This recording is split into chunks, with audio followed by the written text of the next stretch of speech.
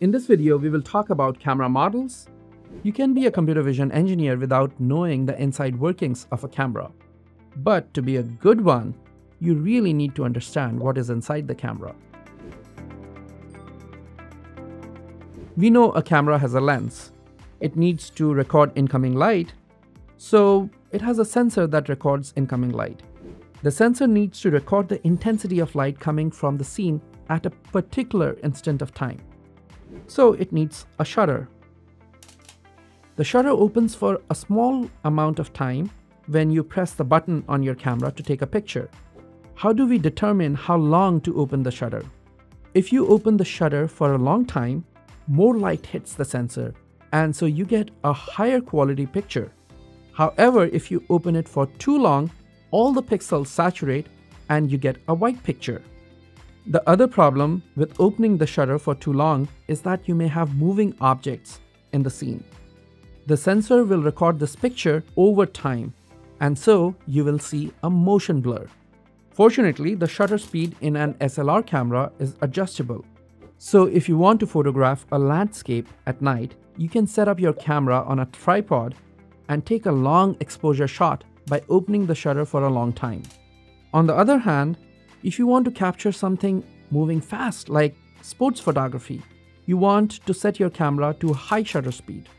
But now we do not have enough light hitting the sensor. One way to fix it is to use synchronized flash. This works well if the subject you're photographing is near the camera.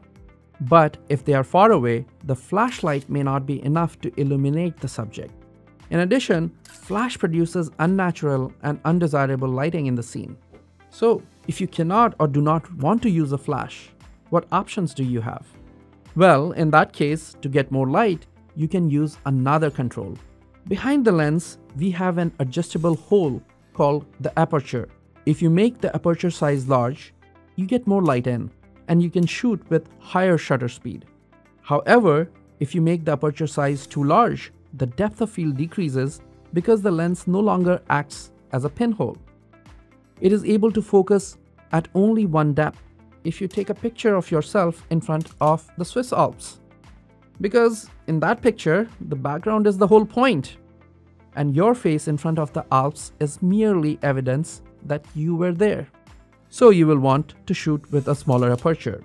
In photography, the aperture size is often expressed using an f-stop or f-number or f-ratio. This is the ratio of the focal length to the diameter of the aperture often expressed by f slash followed by a number. So if the focal length is 50 millimeters and the aperture size is 25 millimeters, the f number is 2. You can see how f number of 2 corresponds to a larger aperture than f number of 4. Another setting you may find on an SLR camera is called the ISO setting. Back in the day when we used films to take picture, ISO setting corresponded to the light sensitivity of the film. During the day, you could use a film with ISO setting 100, and during night, you used a film with ISO setting 400 or higher. Why not always use ISO 400 film? First, ISO 100 was much cheaper. Second, ISO 400 film was sensitive to light, but it was also sensitive to noise. So what does ISO mean in a digital camera? We do not change the sensors on a digital camera. So the ISO setting simply means a gain multiplied to the recorded image intensities. The final thing we want to cover about a digital camera is RAW versus JPEG. If you have ever used an SLR camera, you may have seen the RAW versus JPEG setting. The two images are different in a few crucial ways. RAW images are typically 16 bits per channel while JPEG images are 8 bits per channel. Even though RAW images are using 16 bits to store the image, they may actually be only 14 bits or so. It depends on the quality of the image sensor you're using. The second thing is that JPEG images are also compressed. Typically, RAW images are either uncompressed or losslessly compressed. RAW images are also linear, while JPEG images are not. The linear raw images are not pleasant to look at because our eyes do not see the world linearly. So the raw images are converted to a nonlinear, prettier looking image using a class of algorithms called tone mapping. In addition, tone mapping brings down the image from 16 bits per channel to 8 bits per channel.